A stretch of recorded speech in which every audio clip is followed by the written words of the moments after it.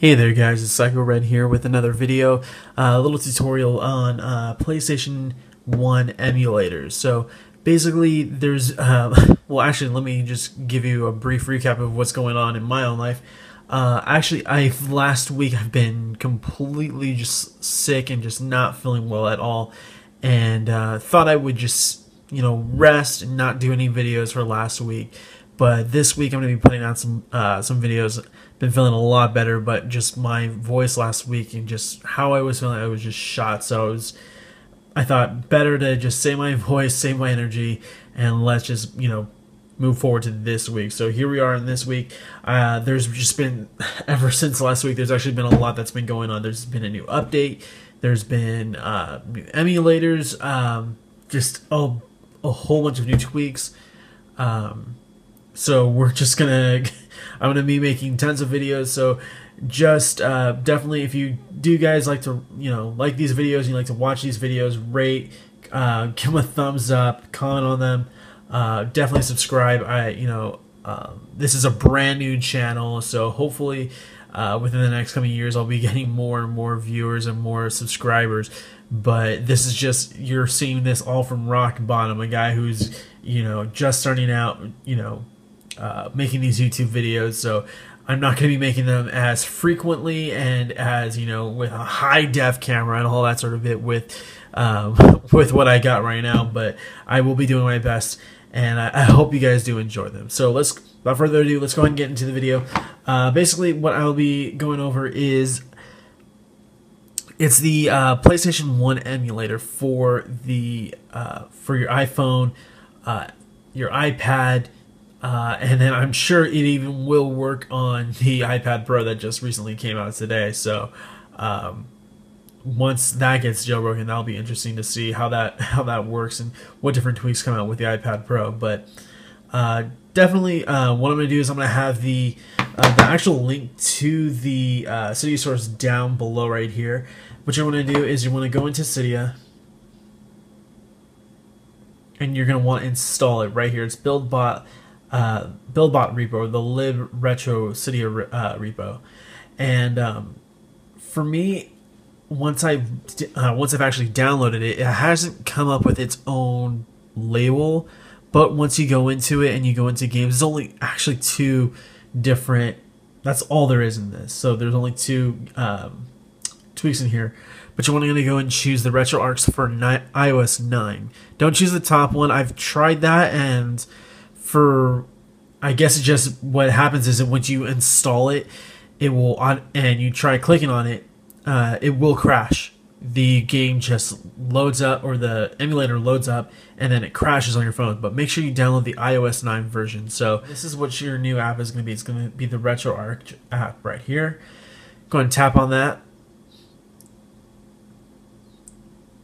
And once you um, once you open up your app, you're going to want to go ahead and go into its online update, update all of these.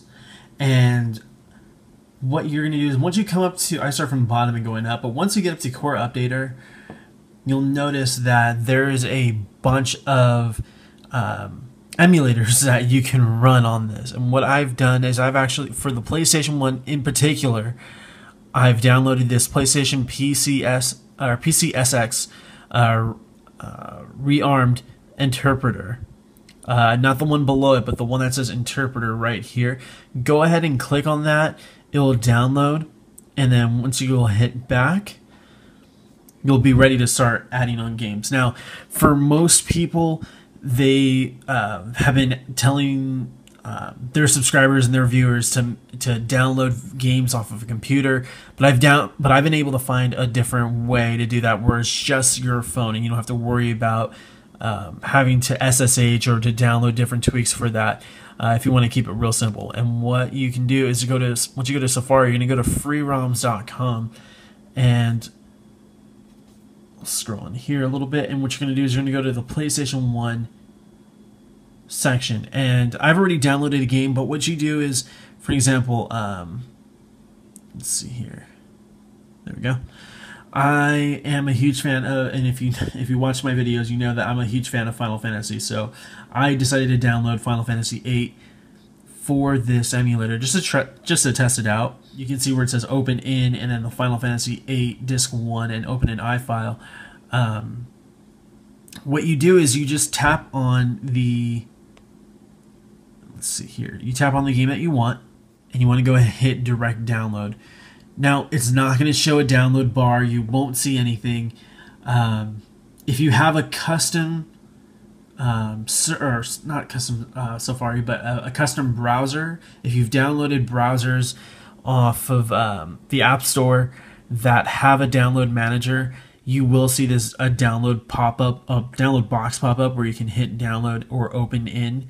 Um, but if you're using Safari, you won't see anything. So you'll hit direct download and it will just stay on this page and nothing will happen. What's going on actually behind the scenes is that the actual ROM or the ISO is downloading in the background. So what you have to do is you download it and what's going to happen, you'll see this type of page come up randomly. And depending on your Wi-Fi speed, it only, only took me like a minute or two but you'll come up with this page and you'll say open in I, or you'll click on open in iFile. Once you're in iFile, and again, make sure you have this tweak installed on your phone before doing this. That's probably a, a good point to you know to point out. Um, you'll notice the zip file is right here and it'll load. It'll actually put the zip file right under uh, var mobile and documents. So scroll down, you'll see this zip file. Go and tap on it, and you're going to hit unarchiver. Once you do, it's going to go ahead and take all the contents out of this zip file, and you'll see this bin file right here. That's important. That's the actual ISO that you're going to be running. So you'll go back to RetroArch.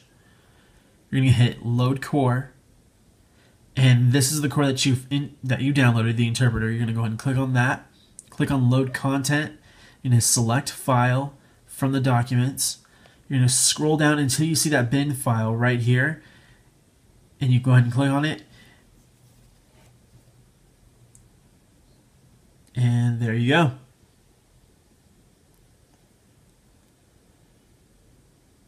Actually, let me go and put the sound on too.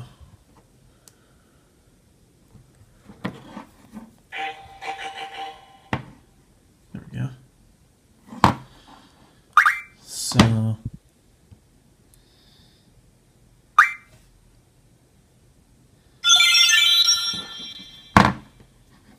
And for pretty fairly new emulator or PlayStation 1 emulator, or not fairly new, but one that's been out but just been revamped. This actually runs very smooth, so this will be a game that uh, that I'm going to go through actually for myself. Um, but here you can see everything is working just fine too. You have different options here to save, save states, uh, rewind, fast forward. You can put things in slow mo if you wanted to. Whoops there. And the game runs perfectly. So don't worry about don't worry about having to SSH or to, you know, use your computer. You can clearly use these games or download and get these games to run off of your iPhone without having to use a computer, which is really cool. This is all things Apple Plus. I hope you guys enjoyed this video.